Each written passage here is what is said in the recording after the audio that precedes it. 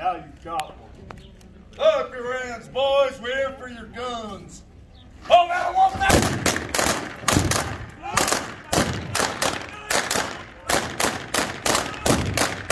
Get the fighting! Get up! Get up, boys!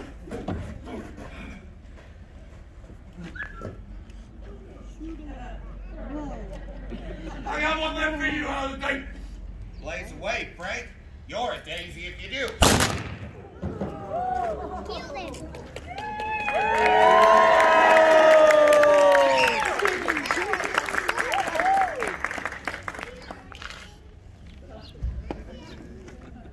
There's only so many places in America people will cheer for a triple homicide. Frank McLaury, dead. Tom McLaury, dead.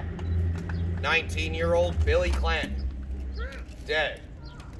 That was it. Over before it ever started.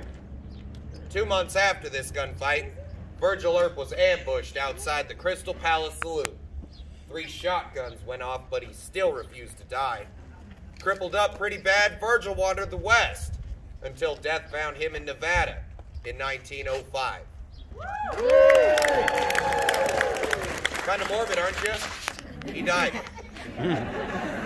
Not as lucky was Wyatt's kid brother Morgan. Shot in the back and killed playing a game of pool up on Allen Street. Morgan died at midnight, March 19th, 1882, his brother Wyatt's birthday. Now in 1887, the year this whole town began to fall apart, after a lifetime of drinking and smoking, well, tuberculosis caught up with yours truly up in Colorado. I don't care to talk about it.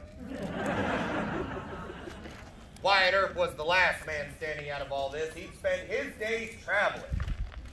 Wyatt made his way from Idaho to Alaska, finally ending in Jazz Age Hollywood, searching for another tombstone and the chance to get things right again.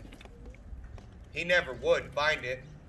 When Wyatt died in Los Angeles in 1929, just ahead of his 81st birthday, his final words? Suppose. Suppose. And that, folks, is our show. We hope you enjoyed it.